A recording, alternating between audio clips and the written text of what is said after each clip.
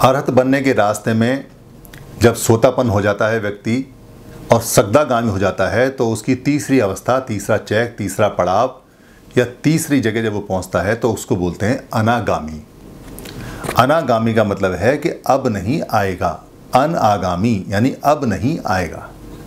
अनागामी व्यक्ति की जो पहचान होती है, उसकी कंडीशन होती है, वो बहुत सिंपल सी होती है कि उसकी जो सेंसेस होते हैं यानी कि जो उसके काम राग वाले सेंसेस होते हैं। काम राग वाले सेंसेस कौन से होते हैं?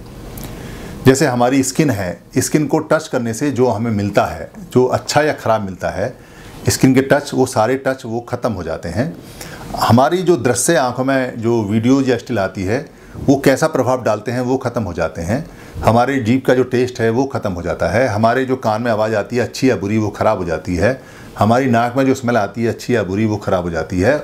और इसके अलावा जो हमारे मन के अंदर चलता है अच्छा बुरा वो ख़राब हो जाता है, ख़त्म हो जाता है।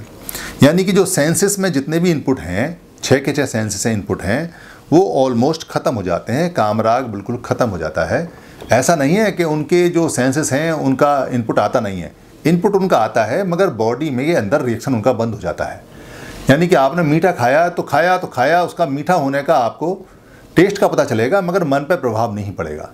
आपकी लालसा खत्म हो जाएगी कि आपको मीठा चाहिए या आपको स्मेल अच्छी चाहिए या ख़राब चाहिए या आपको टच का स्पर्श चाहिए या स्किन का कोई सुख चाहिए। ऐसी सारी चीज़ें आपकी इच्छा बिल्कुल ज़ीरो हो जाएँगी, आप बिल्कुल न्यूट्रल हो जाते हैं। पहली कंडीशन है अनागामी की। सोतापन के बाद सगदागामी सगदागामी के बाद अनागामी अनागामी की ये पहली कंडीशन है। और दूसरी कंडीशन है उसका पटिग हो जाएगा। अब ये पटिग क्या होता है?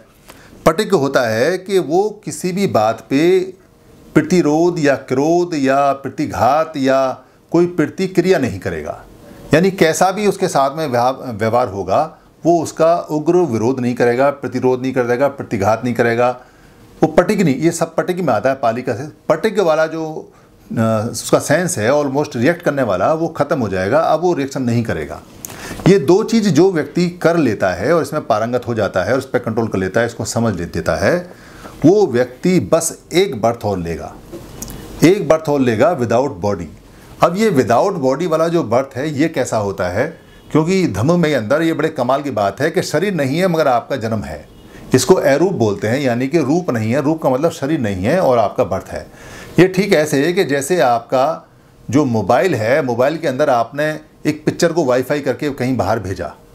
अब वो पिक्चर वाईफाई में बाहर डिजिट में है मगर वो अगर उसका कोई रिसीवर नहीं है तो फिर वो पिक्चर मोबाइल में नहीं जाएगी और वो पिक्चर एयर में रहेगी। यानी कि वो एयर में जो रहने की पोजीशन है, उसको यहाँ एयरूप बोला है, उसको यहाँ बोला है कि अब उसका विदाउट बॉडी बर्थ एक होगा। इसको हम बोलते हैं अनागामी, यानी कि अब नहीं, अर्थ पर आएगा। धन्यवाद।